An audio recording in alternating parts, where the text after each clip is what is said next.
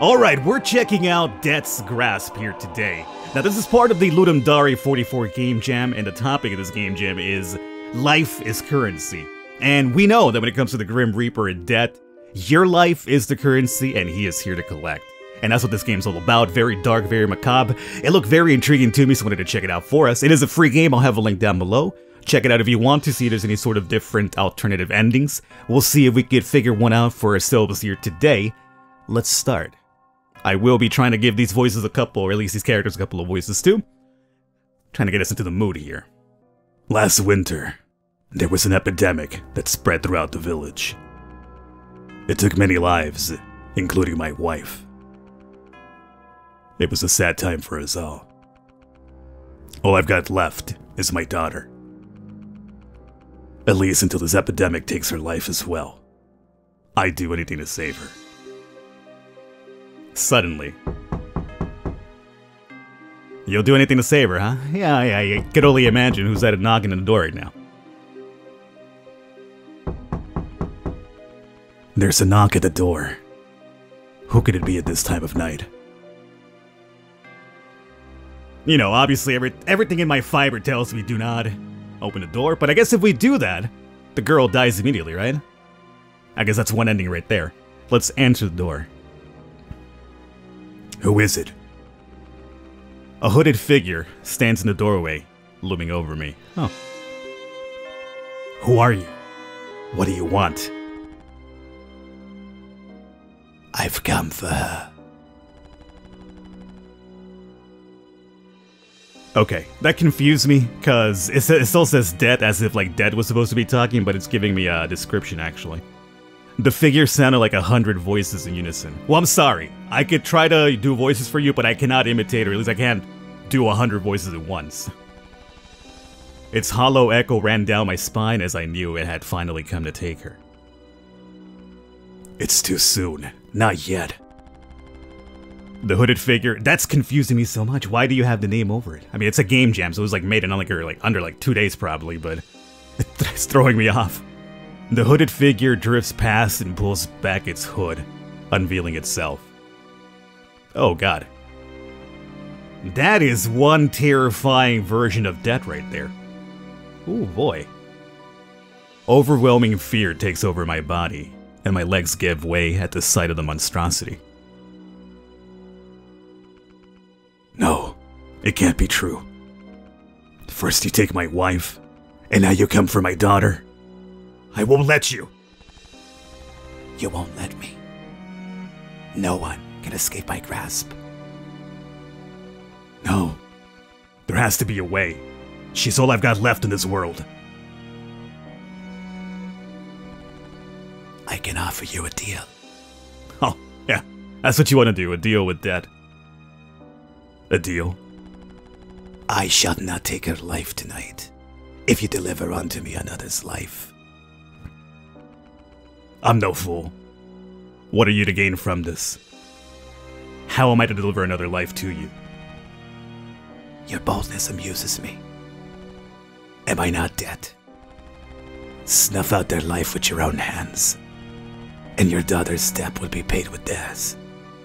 What is thine answer? Well, I guess that's an ending right there, probably. But we're here to do whatever it takes to save our daughter's life, right? Even apparently murder. What is it that you propose? I shall not take her life tonight. You should make haste. I wait for no one. That fades into the darkness. Okay. And apparently you left your uh, many faces here, which is terrifying.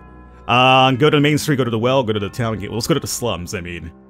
Look, I ain't, I ain't trying to be heartless here, but if I'm trying to kill somebody for my daughter's life, if you're in the slums committing crimes and you're a criminal yourself, I won't feel as guilty for killing you to save her. I mean, I still feel bad about killing in general, but I'm just saying, at least it's not an outstanding member of society, right? Darkness shrouds the alleyways from sight. I wouldn't usually come to a place like this. A vagrant sleeps on the floor, unaware of my presence. Oh, well, I'm, glad you gave me the choices here. Please forgive me. I need to save her. And that's how it starts.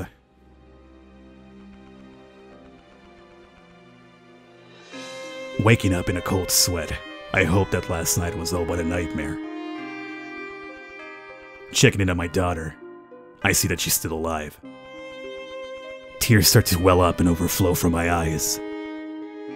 Why do you cry, Father? I'm just so happy that you're here with me. I embrace her, knowing that it may be my last time.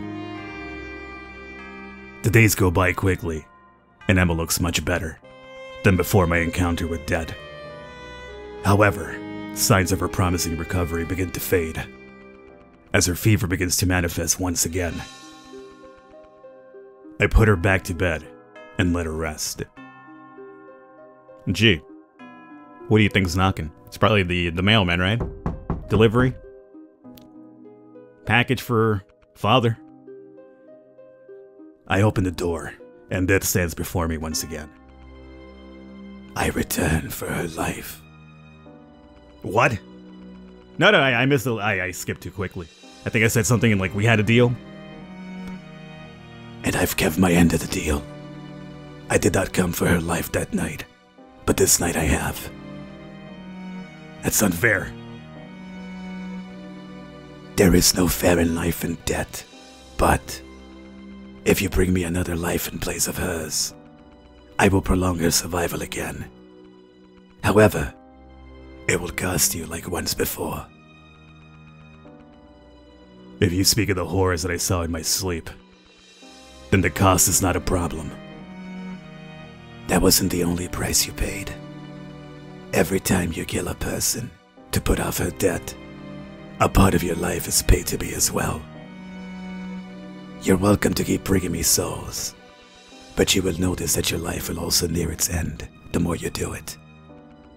The signs are already starting to show. That fades away, his words repeating through my mind as I stand at the doorway alone. I rush over to the sink and examine any changes to my appearance.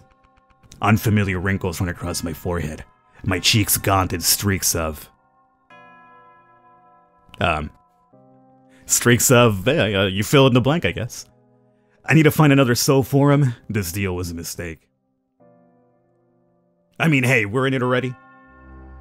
When you gotta do what we gotta do. Go to the main street, go to the well, go to the town gate. I guess we'll go to the well. I got no reasoning for it this time. I'm just gonna go somewhere I feel like maybe there won't be so many people. Oh, good. Are you a child? Oh, God.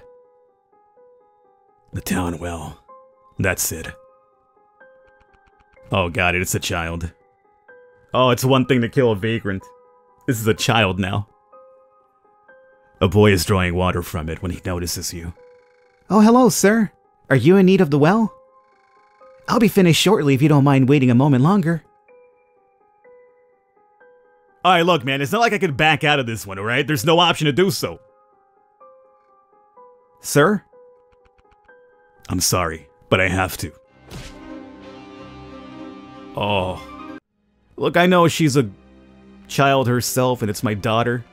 It's a little bit more difficult now. We're talking about like killing another child for your child now, right? That's that's man. I arrived home later than I expected. It seems the cost of killing people is taking a greater toll on me than I thought. But I have to keep it up for Emma's sake. Emma peeks her head out from her room at your arrival home. Father, are you okay? Yes, I'm fine, sweetie. Why do you ask? You look so tired and old? I check my reflection in the sink again, staring back as an old man I am unfamiliar with. It was just a long day, sweetie. Time for your poor old dad to get some rest. You should go back to bed as well.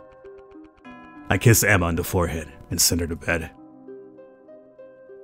Well, hey, we're knee deep in it.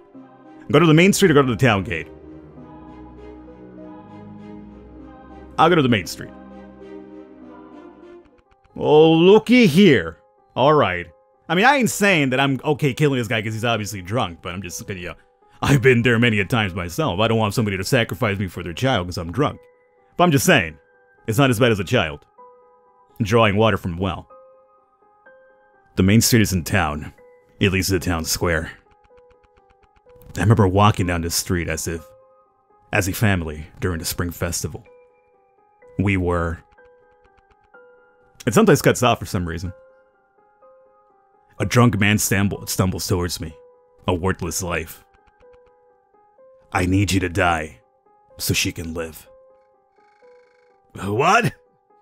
Get out of my way, old man! Well, I mean, it's not like it's gonna be much of a choice now, is it?